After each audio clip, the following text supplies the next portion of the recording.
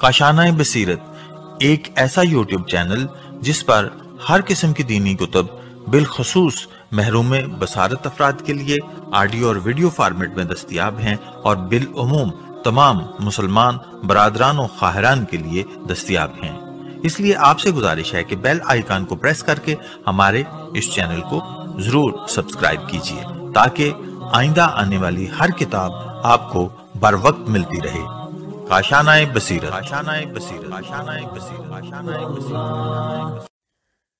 अज़बिल्लिमिनशैतवानिर्रजीम बिस्मिल्लाहिर्रहमानिर्रहीम। Kashan बसीरत YouTube channel के बाबसीरत सामीन सलामुकुम मैं पार्ट फोर के साथ हाज़िर हूँ। किताब ज़िंदगानी जनाब। ज़ैनब सलाम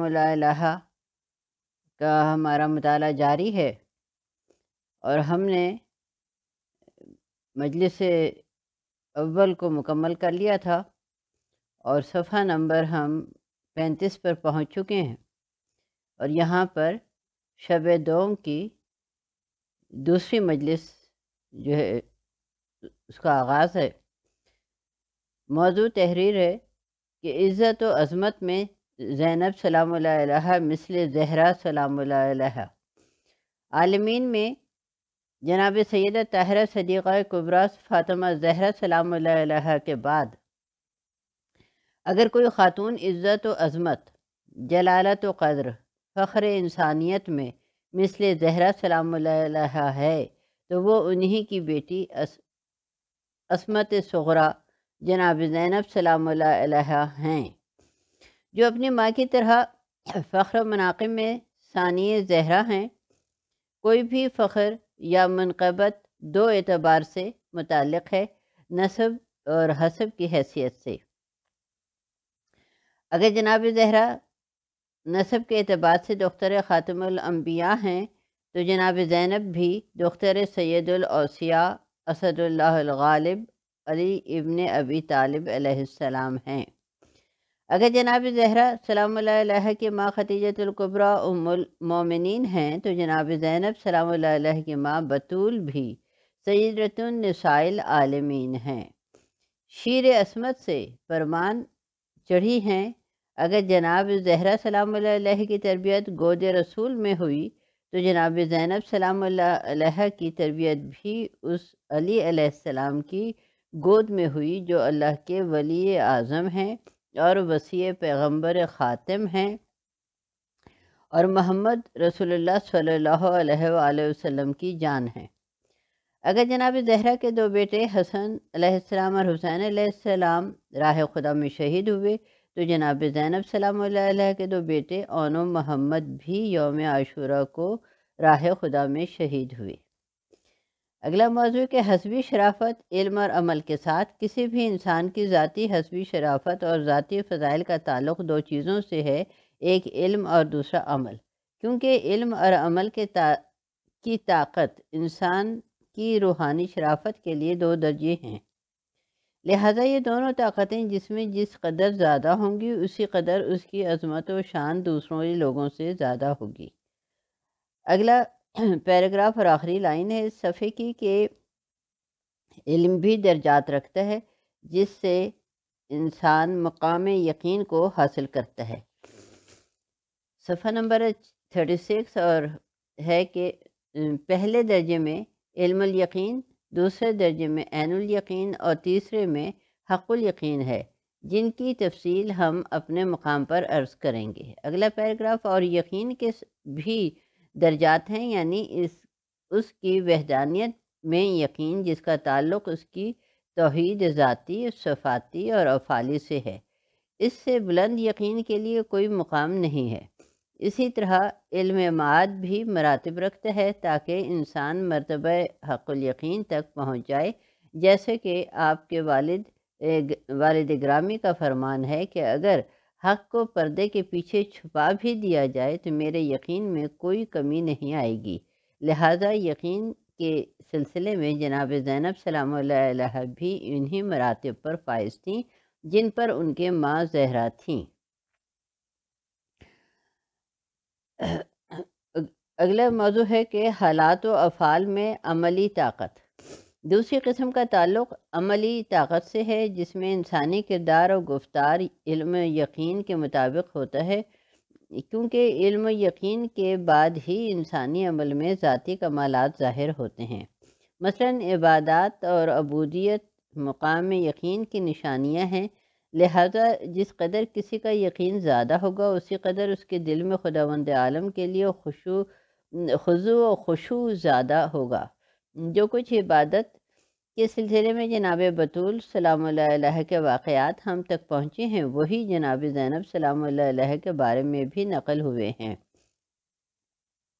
किताब रियाहीन शरिया में मनकूल है कि जनाब सानी जहरा सलाम की तमाम उम्र में नमाज़ शब, यानी तहजद और शब बेदारी कज़ा नहीं हुई। यहाँ तक कि जब ग्यारह मुहर्रम को आप पर गम के पहाड़ टूट चुके थे, जनाब सजाद फरमाते हैं कि जनाब सजाद फरमाते हैं कि मेरी फुपी ने उस रात भी शब नमाज़ शब कज़ा नहीं की। अगर चे बैठ कर पढ़ी फिर फरमाते हैं कि किताब किबरियत अहमर में रिवायत है कि मेरी फुपी ने करबला से शाम तक वाजिब नमाज़ के साथ साथ नवाफिल भी कज़ा नहीं किए। नीज़ फरमाते हैं कि जब मेरा बाबा हुसैन सलाम आखिरी विदा करने आए थे तो अपनी बहन जैनब सलाम से कहा था, या अख्ता होला तनसी फ़िसलात लैल, मेरी बहन मुझे नमाज़ शब में भूल ना जाना। तो ये सफ़ा नंबर है थर्टी सेवन और अगला पैराग्राफ है कि मकाम सब्र को हासिल करने के लिए इल्म और यकीन का होना ज़रूरी है। सब्र में सब्र भी दर्जात रखता है, जिस किसी का यकीन ज़्यादा होगा, उसका सब्र भी ज़्यादा होगा। इसी तरह मकाम तस्लीम रज़ा, जहद हकीकी, सखावत और शुजात, मरवत और हिल्म, मेहरबानी और इक़त का ताल्लुक़ भी क़वत अमल से है, जो मकाम यकीन के लवाजमात से है, जैसा कि मकाम मबूद हकीकी की अज़मत का, जिस कदर इल्म और यकीन होगा, उसी कदर, उसी मकदार में खुजू और खुशू भी ज़्यादा होगा। अगला पैराग्राफ है कि, और ये क़वत अमल भी जनाब ज़ैनब सलाम में बुलंद दर्जा की थी, क्योंकि जो सब्र जनाब ज़ैनब सलाम ने फरमाया उसकी कायनात में मिसाल नहीं मिलती। लिहाजा ज़्यारत नाहिया में जो इबारत सैद शहदा की तरफ़ मंसूब है, वो मुसाफराई शाम के लिए भी मुनासिब है। लक़द अजबत मन सब्र का मलाइकत समा, तेरे सब्र पर आसमान के फरिश्ते हैरान हैं। अगला पैराग्राफ है कि हकीकत हाल ये है कि करबला में योम आशूर को हज़रत इमाम हुसैन सलाम तो शहीद हो गए और उनका काम मुकम्मल हो गया। बाद में सानिया जहरा सलाम की बारी आई और जो कुछ भी मसाइब जहरा सलाम की बेटी ने देखे, उनका ज़रा शुमार कीजिए कि भूखी भी है और प्यासी भी, गमजदा भी है, यतीम बच्चों और उजड़ी मस्तूरात का साथ भी है, जंगलों का सफ़र भी है, मगर खुदाबंद आलम ने इस मौजमा बीबी को किस कदर रूहानी ताकत से नवाजा के आपके क़वत अमली के मकाम में जो क़वत अमली के लवाजमात से है, कोई सानी नहीं है। चुनाचे आपका मकाम यकीन में भी कोई नज़ीर नहीं है और लवाजमात यकीन में भी आप बेमिसाल हैं। और आपके सब्र में भी कोई सानी नहीं। कौन है जो इस मौजमा बीबी के दर्ज रूहानियत को समझ सके? सफ़ा नंबर थर्टी एट और मौजू है कि हकीकी जहद को सानिया जहरा सलाम में तलाश कीजिए। सब्र के अलावा दूसरे कमालत में जहद भी क़वत अमली की तरफ़ राज है और राज है और जहद हकीकी ये है कि गैर खुदा से कता ताल्लुक़ी करके फ़कत वहदहुला शरीक की तरफ़ कलबी रुझान हो, जिसका मतलब ये है कि हवा व हवेस और ख़ुद पसंदी को छोड़कर फ़कत खुदा की तरफ़ ध्यान हो और उस जहद का मतलब ये भी नहीं है कि इंसान दुनिया को तलब न करे या माल दौलत न रखे, बल्कि हकीकत जहद एक कलबी अमर है कि गैर खुदा से कल्ब और नज़र को दूर रखा जाए और आखरत को दुनिया पर तरजीह दी जाए और खुदा के लिए अपनी नफसानी ख्वाहिशात और लज्जात को छोड़ दिया जाए। इस जहद का बुलंद मकाम नबी और इमाम से मुतक़ है, क्योंकि नबी और इमाम के लिए शर्त है कि वो जाहिद हों। उनके बाद अलिया करम और दोस्तान खुदा का मकाम है। रूहानियत जनाब ज़ैनब सलाम की कमा हक़ा हमें ख़बर नहीं है, लेकिन उनकी गुफ्तार और किरदार की रवायात जो हम तक पहुँची हैं वो उनके मुकाम जहद को काबिल फ़हम बना, बनाती हैं कि आपने किस कदर गैर खुदा से एराज़ किया और दुनियावी जीनत व ज़ेबाइश और ख्वाहिशात को तर्क फरमाया।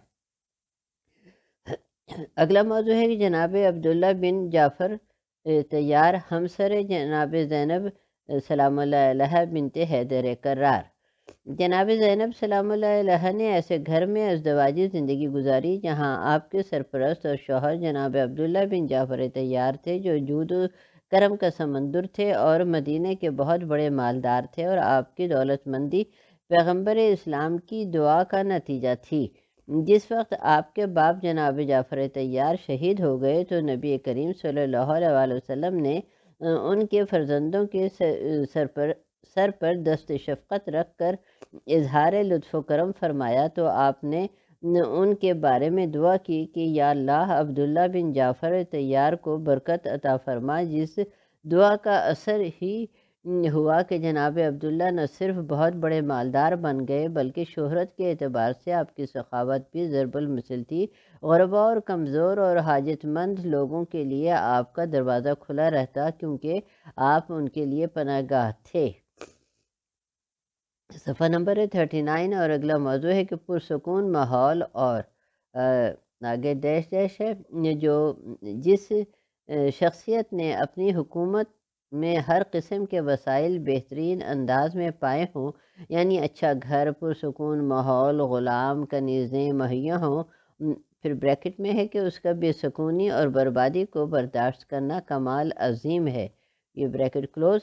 मेरा मतलब ये है कि बिनत ज़हरा सलाम जो घर में पुरसकून ज़िंदगी गुजार रही थी, जहाँ किसी किस्म की कोई कमी ना थी, जिस उसने जब अचानक देखा कि भैया हुसैन सलाम वतन मदीना छोड़ रहा है तो बिनत ज़हरा सलाम के तमाम आराम और खुशियाँ ख़त्म हो गईं और आपने अपने आप को मसरत की वादियों से निकाल कर गम के दरियाओं में डाल दिया। ये कैसा जहद है? क्वेश्चन मार्क सुबहान अल्लाह। ये ताजुब खेज़ वाक़ात हैं। अगर इन वाक़ात का आपको कबल अज वक्त इल्म ना होता तो कोई मुश्किल काम ना होता। मगर आपने सब हालात से वाकफियत रखते हुए अट्ठाईस रजबुलमरजब को अपने भाई हुसैन सलाम के साथ नाना के शहर को अलविदा कहा और मक्का की तरफ़ रवाना हो गए। जबकि इन हालात से कबल अज कबल अज वक्त आपको नाना मोहम्मद अलैहि वसल्लम और बाबा अली सलाम माँ जहरा सलाम ने मुतला कर दिया था और आपने इन मसाइब को बर्दाश्त करने का अपने बुज़ुर्गों से वादा भी फरमाया था। लिहाजा आपको इन वाक़ात का न सिर्फ़ इल्म था, बल्कि यकीन भी था कि हम पर दुनिया के मसाइब के पहाड़ गिराए जाएँगे। अब जो ख़ातून ज़ाहरी और हकीकी तौर पर शहनशाह एक कायनात की दुख्तर थी और अब्दुल्ला जैसे खुशहाल मालदार, सखी और मुखलिस इंसान की जौजा थी, उसका नामोस इस्लाम की खातिर कैद होकर नंगे सर, बंधे हाथों से जंगलों में बयाबानों, बदमाशों के बाज़ारों और शराबी के दरबारों में जाना और हक़ की तबलीग फरमाना कोई मामूली नहीं है। और लिहाजा ब्रैकेट में है, लिहाजा जहाँ हुसैन सलाम इबन अली सलाम की शहादत से इस्लाम की नई हयात बख्शी है वहाँ ज़ैनब सलाम की क़ैद ने हयात इस्लाम को दवाम बख्शा है। ये ब्रैकेट क्लोज हो गया और सफ़ा नंबर है फोर्टी और बहन को भाई का साथ देने से इबन अब्बास का रोकना।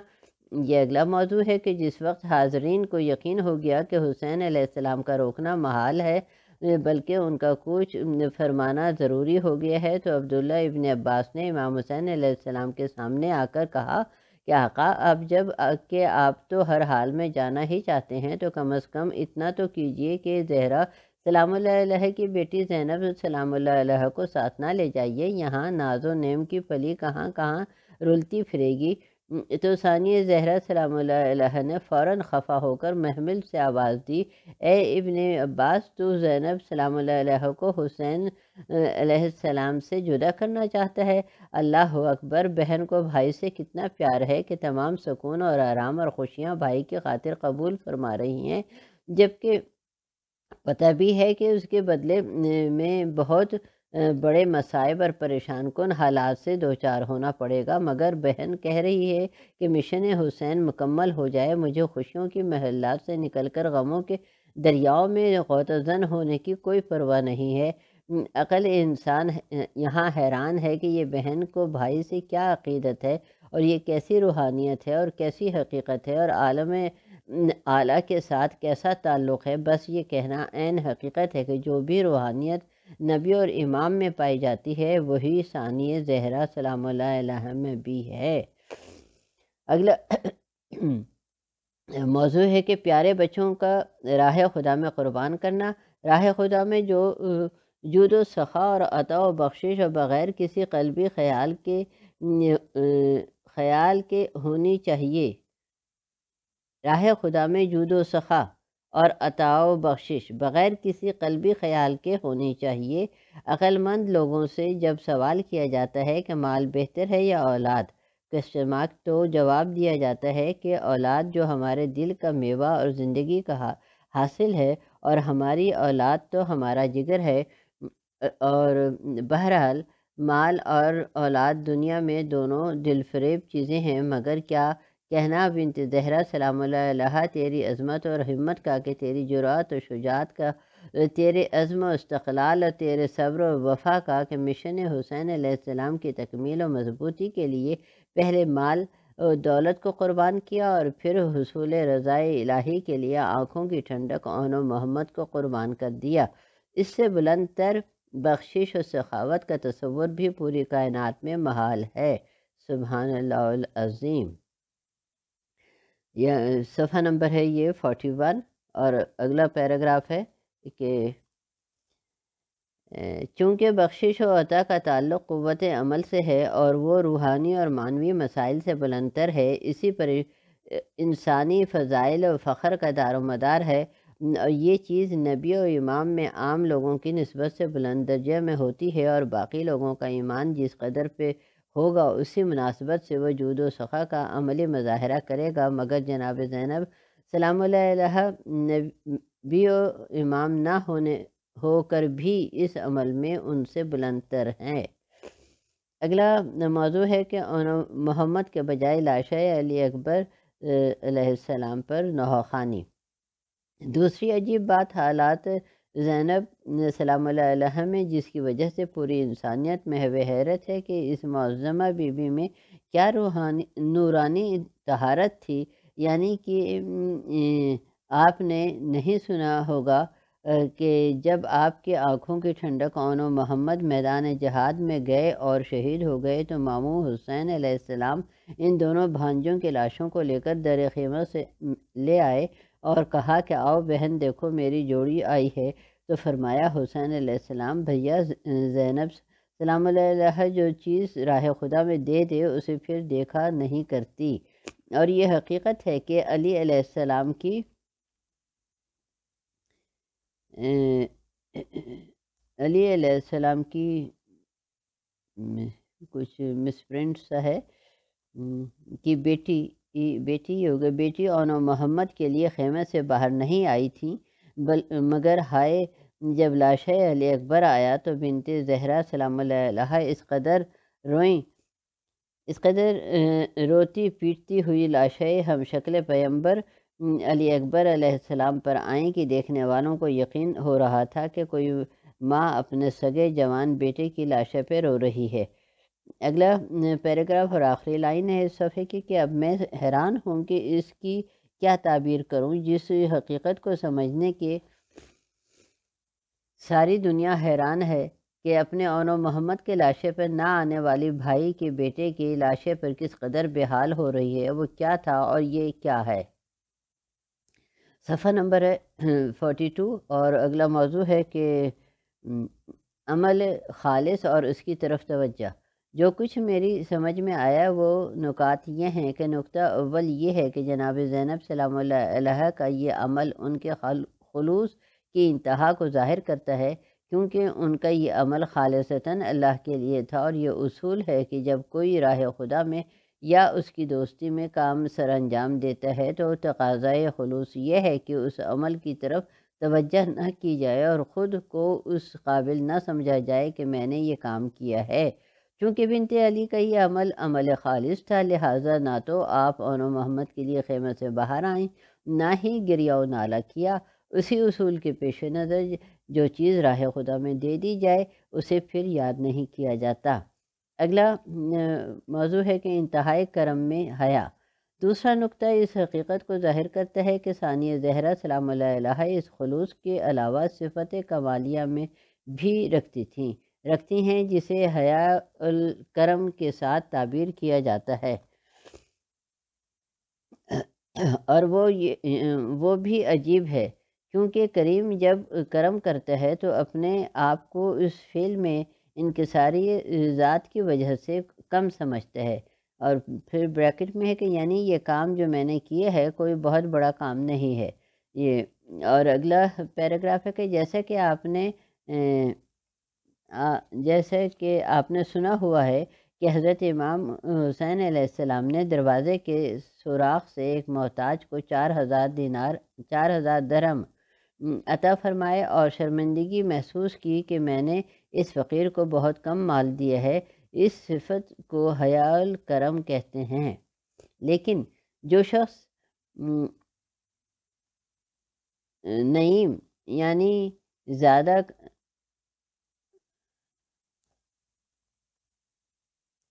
लयम, लाम ये मीम।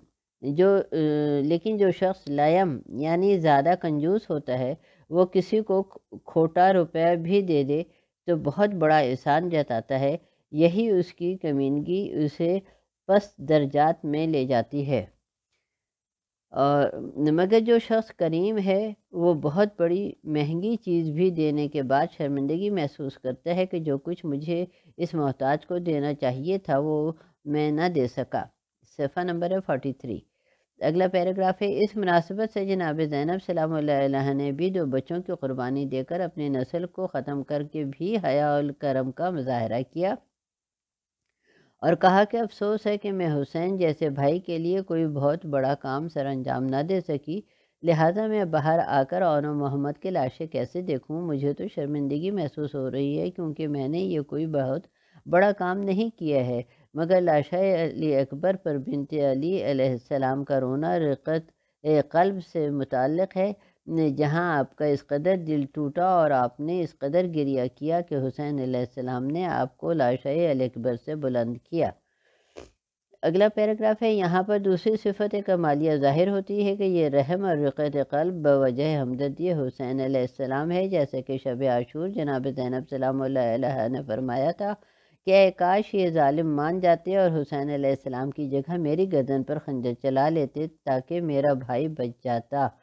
अगला पैराग्राफ है कि सानिया जहरा सलाम की इस ज़िक्र के ज़मन में तमाम सामीन को चाहिए कि वह अपने खालिक हकीकी से दुआ करें। खुदा वंद आलम, उनकी इस मौज़मा बीबी के सदक़े में क़वत अमल की कमालत से मुस्तफ़ फरमाए। आमीन। अगला मौजू है कि बचपन में जनाब ज़ैनब की सखावत। यहाँ जब हम जनाब ज़ैनब की जूदो सखा, जूदो करम तस्करा कर रहे हैं, जो इस बीबी की फितरत में है तो मुनासिब मालूम होता है कि इस एक सच्चा अजीब वाक़ जो आपके बचपन में गुज़रा, उसे भी आपकी खिदमत में पेश कर दिया जाए। मुख्तसरा अर्ज़ है कि एक दिन हमारे आका मौला असदुल्लाब हज़रत अली सलाम एक मेहमान को अपने साथ लेकर अपने घर तशरीफ़ लाए और अंदर तशरीफ़ लाकर सैदतनसालमीन हज़रत जनाब फ़ातिमा जहरा सलाम से फरमाया कि क्या मेहमान के खाने के लिए घर में कुछ है क्वेश्चन मार्क जनाब बतूल ने अर्ज़ किया या अली अलैहिस्सलाम एक हल्की सी रोटी घर में है जो मैंने अपनी बेटी जैनब के लिए रखी हुई है ताकि जब वो सोकर उठे तो खा ले जनाब जैनब सलाम उस वक्त माँ का कलाम सुन रही थी क्योंकि अभी मुकम्मल तौर पर सोई नहीं थी जब माँ का कलाम सुना तो उस वक्त जनाब जैनब सलाम की उम्र चार साल की थी। फ़ौर आवाज़ देकर माँ से गुजारिश की कि, अम्मी जान, जो रोटी आपने मेरे लिए रखी हुई है, उसे अबा जी को, के मेहमान को दे दीजिए। इस घराने के अफराद में बड़े छोटे की तमीज़ मुश्किल है, क्योंकि उनके फ़ज़ाइल किसी उनके फ़ज़ाइल कसबी नहीं, अताई हैं। ये उसी ताकत इल्मिया की मिसाल है और इजाफ़ा ये है कि जहाँ इनका मुकाम इल्म में, इल्म लदुनी है, वहाँ इनके अमल क़ुव्वत, अमली क़ुव्वत भी कुदरत का एक अतिया है। यह जनाब ज़ैनब का खाना देना बचपन का कमाल है और योम आशूर को करबला में प्यारे बच्चों और मोहम्मद का नजराना बुज़ुर्गी का कमाल है। हज़रत इंसान जिसका भी जहद ज़्यादा होगा आलम आला में उसकी ताकत ज़्यादा होगी और जिसका सब्र, हया और करम, सखावत ज़्यादा होगा, उसकी सादत ज़्यादा होगी। मौला सबको तोफ़ी अता करें हम इसकी। आमीन। हम अपने इस ऑडियो को यहीं अख्ताम करते हैं। अल्लाह हाफिज़।